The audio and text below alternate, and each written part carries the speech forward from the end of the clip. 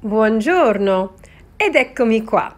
Oggi sono a Bergamo e voglio parlarvi di disabilità. Questo pomeriggio sono a Bergamo presso lo spazio autismo. Adesso entriamo a conoscere il presidente dell'associazione, il signor Tino Manzoni. Siamo qui all'interno dello spazio autismo di Bergamo con il presidente dell'associazione Tino Manzoni. Buongiorno a tutti. Bene Tino, raccontaci un po' come è nata questa realtà e cosa, che tipo di lavoro fate sul territorio.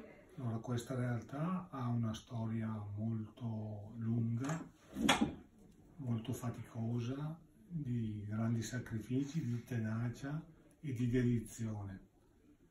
Eh, il lavoro parte già negli anni 90 grazie alla sensibilità di alcuni eh, insegnanti de delle scuole del provveditorato di Bergamo che poi hanno coinvolto i genitori, gli educatori ed è nato tutto questo progetto che ad oggi riguarda 120 ragazzi in età scolare.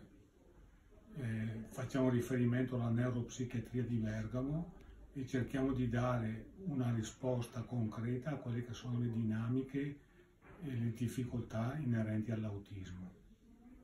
In questo momento noi siamo all'interno dei laboratori dove i ragazzi appunto creano degli oggetti. Qui abbiamo, Tino, delle scatole e tante altissime altre cose. Il laboratorio è solo una parte di tutte le attività che si fanno.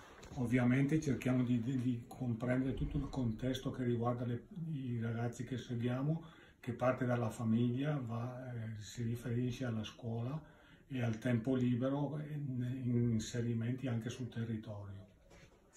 Io ad esempio ho visto tantissimi lavori, come quelli che hanno esposizione a Stezzano, di ragazzi. Le persone se vogliono comprare un oggetto, un quadro, dove possono acquistarli? Allora, noi abbiamo un negozio che si chiama Il Negozio, si trova in via Pignolo a Bergamo, al numero 9 e lì potete trovare un po' tutte quelle che sono le creazioni dei ragazzi e anche dei volontari che collaborano con noi. Buongiorno, sono Silvia, sono una delle direttrici della, eh, delle orchestre della, della Nota in Più, il progetto musicale dell'Associazione Spazio Autismo di Bergamo. Siamo all'interno della nostra sala musica. Questa sala musica è la sala musica delle nostre orchestre sinfoniche. Il nostro progetto è rivolto a persone con disabilità di vario genere e eh, loro suonano con noi brani sinfonici e nel corso dei tre anni del, del corso base, del corso di preparazione alle orchestre, eh, i ragazzi imparano a relazionarsi con tutti gli strumenti acquisendo le capacità base per suonare questi strumenti e per eseguire i brani che noi proponiamo. Intanto vi mostro quelli che sono alcuni dei quadri che abbiamo trovato qui all'interno del centro Spazio Autismo di Bergamo. Come sapete, come ha detto anche il signor Tino, queste attività sono importantissime perché i ragazzi riescono proprio a tirare fuori un qualcosa che loro hanno dentro, una passione, una dota, un qualcosa di innato. Questi sono alcuni lavori, quadri che abbiamo visto presso il centro. Per vedere altri lavori dei ragazzi dobbiamo andare in centro. Tina sono via Pignolo.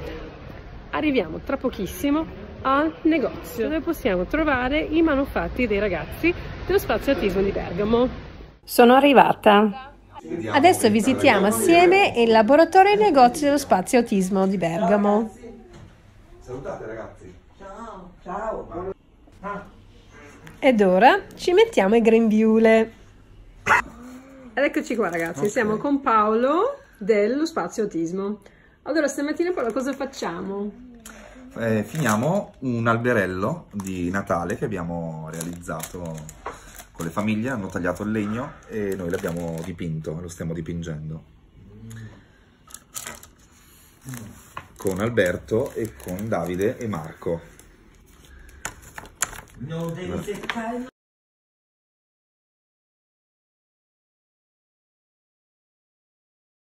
abbiamo dei, dei, quadernini in questo negozio di via Pignolo.